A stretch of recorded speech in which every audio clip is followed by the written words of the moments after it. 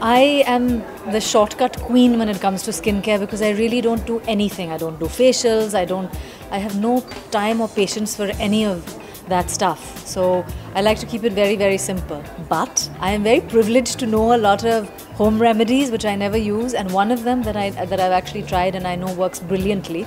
If you have acne or something, obviously exfoliating your skin is not good for you. But for everyone else, you grab two spoons of, of uh, pink masoor dal, give it a whiz in the grinder so it becomes pretty finely ground, maybe a little coarse, just enough for exfoliation. Throw in a few spoons of uh, malai or whole milk. If you don't have malai, is nobody anymore in their kitchens has malai, not like our mother's times, you know, where there was a bowl of malai sitting there.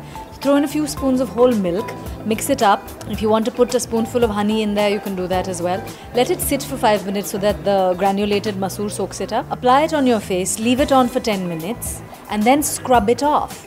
And your skin is glowing after that because the dead skin comes off, and of course, the whole milk and the honey have moisturized your skin.